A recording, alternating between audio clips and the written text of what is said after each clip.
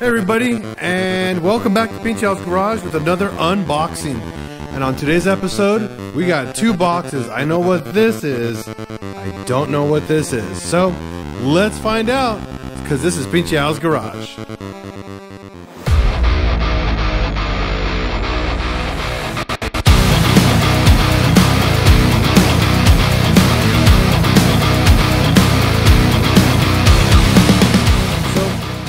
As always, here we're going to do a quick segue straight to our sponsor, UROTuning.com. Thank you guys for sponsoring this build. Oh, what's going on, Pinche Al? What are you doing today, man? Hey, what's going on, Al? Yeah, I'm just uh, working on the VR6 uh, turbo right here that I'm building for our Patreon members. And doggone it, I'm looking for some parts. And I just can't seem to find them online. I just don't know where to go. Well, it looks like to me, you need to go to UROTuning.com to get the parts that you're looking for. What? UROTuning.com's got all the parts that I need for my VR6? Oh man, I appreciate that, Al. I'm gonna get on over to my computer and order something from UROTuning.com. Be right back, buddy.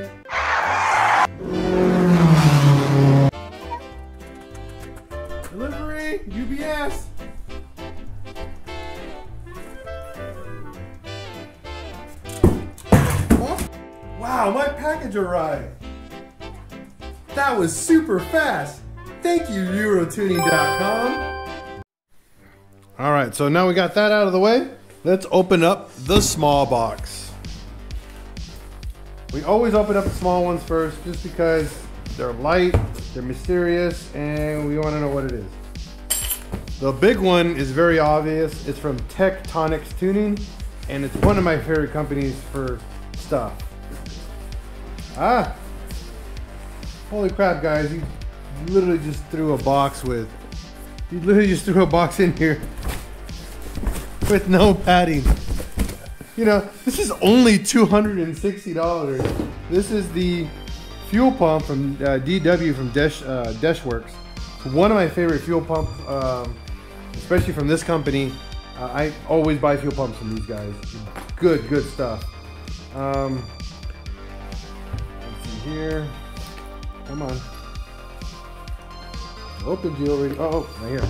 We go up. Now this is the DW. Model is this one? Uh, the DW65V. Uh, pretty much does 265 liters per hour. That's what LPH stands for at 40 psi. This is more than enough fuel for our VRT uh, to go up to four to 500 wheel horsepower with no issues. Um, I love, again, I use these fuel pumps in all my cars and all my Mark IV builds. Um, it's just because they work. They're very, very good fuel pumps and they just work and they work hard for you. So just like a standard Mark IV, they have the standard pretty much positive negative and the standard feed uh, tube right here. And then on the bottom, again, very factory Mark IV like. All this factory stuff that pretty much that a Mark IV has is right there in your fuel pump. So this is a drop-in pump. No modifications required for your gas tank at all. This just drops in, clean out, swap out your fuel lines, and you're done. Instant fuel, pretty much upgrade on your car. Now here we go.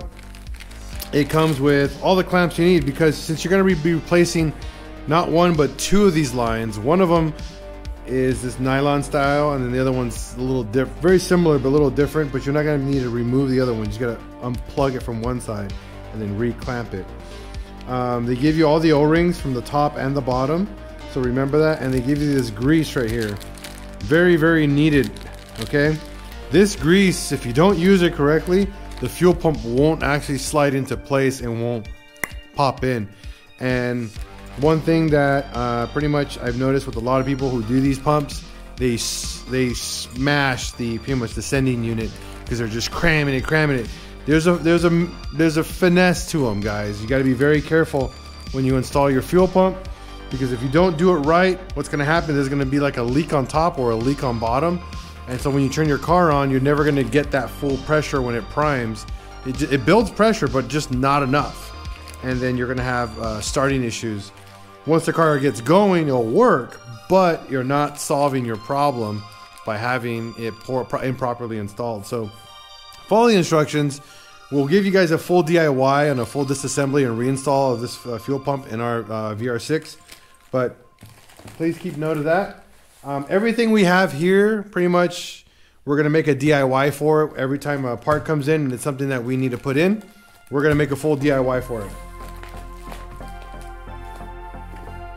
That way, if you guys are following this build and you want to pretty much replicate what we've done, you guys know exactly how to do it. Now for El Boxo Grande O. Now, there's a couple ways I can attack this. Uh, more likely, I'm probably going to want to open it. I want to open it long ways and cut the box open um, because I don't want to yank it out. I just want to slide it out.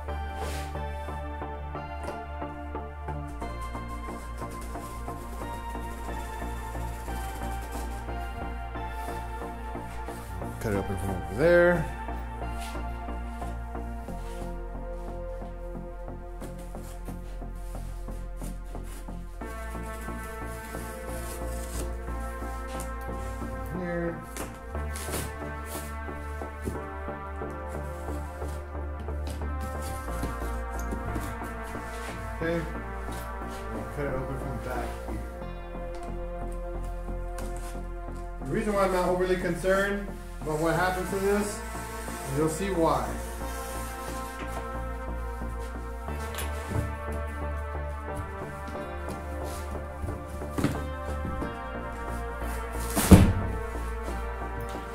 Ah, horrible open stuff. But that's me. I have a box cutter, I just don't know where it's at.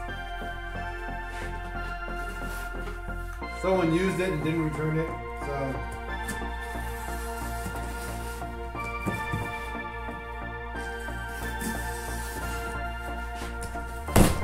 There we go. All right. So this uh, this item, you guys should know what this is already by now. Is a full on exhaust, three inch exhaust, four hour Mark IV Jetta. We went full three inch, and obviously you can tell it's not stainless steel. It's aluminized. Perfect for this build. You gotta keep in mind we gotta we gotta save some money somewhere, and not go balls to the walls like super expensive. Um, but these are not crush bend. Okay, these are mandrel bent. This is a mandrel bent exhaust. Right, so typically or traditionally when they're crush bend, they're smaller on here and they get bigger on the sides. Um, this is definitely mandrel bent. Um, couple corners. I mean, again, it's aluminized, so it's not as pretty, but it's a full three inch exhaust. And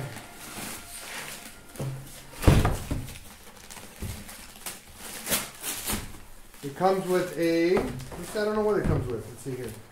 So straight, obviously this is going to be the one that goes towards the back by the uh, axle. I don't know why they wrap this in paper. They wrap everything else.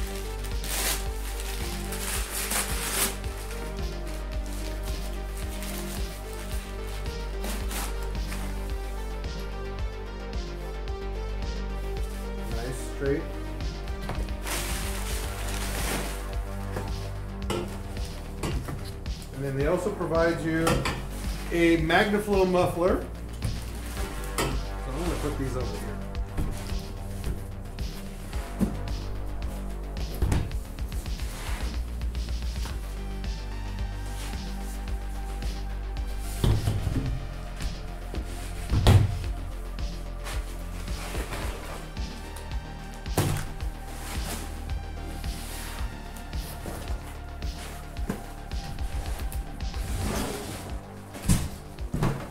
go.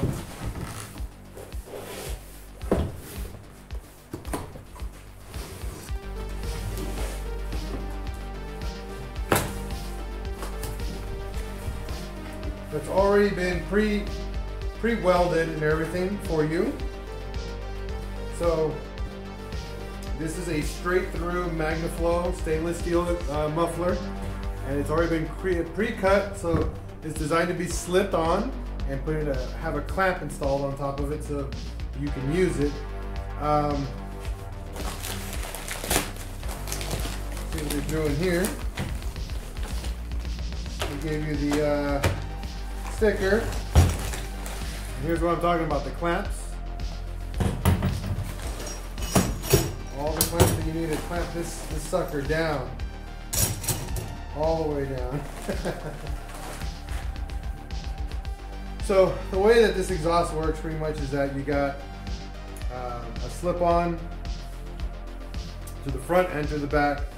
Uh, the front one is probably going to be this short guy right here. And it's going to go in through here. Um, this guy is going to be the uh, axle uh, part portion. And then this guy's gonna be the straightaway down the main channel, uh, pretty much down the middle of the car. And then we got a downpipe that we have to custom make to mate to this exhaust. So all this is about under 500 bucks uh, plus shipping. It's again probably one of the best bangs for your buck exhaust systems you're gonna get, and they sound phenomenal. These are one of my favorite sounding uh, mufflers um, and brands. I love MagnaFlow. They have a very, very deep growl to them. The only thing is that this is, this is not a naturally aspirated engine. This is a turbocharged engine. I don't know what this is going to sound like. They sound very different when they're turbo. So I'm very, very excited for this car. Um, we're not going to assemble it just because we still need a car to assemble it and put it in. Uh, but when we before we put it in the Jetta, we're gonna um, lay it out on the ground so you guys can see it, and then we'll take it apart and put it back in the car. We wanna get the car pretty much as ready as possible to get towed to an exhaust shop and have a downpipe made to finalize the exhaust. We're gonna make sure everything works on the car until we, and then once it's all working, then we'll have the exhaust finished, and then we will reveal the car at the end. We don't want to reveal the car to anybody else but Patreon members. YouTube, uh, everybody else on YouTube will get to see the car about a week to two weeks after all the Patreon members get to enjoy this.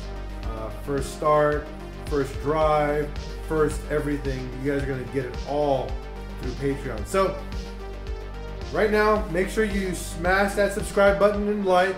And don't forget to go to patreon.com and become a member because once this car is done, you guys get to get a chance to. Uh, win this car from me. All right? Peace out, everyone, and you guys have yourself a wonderful day.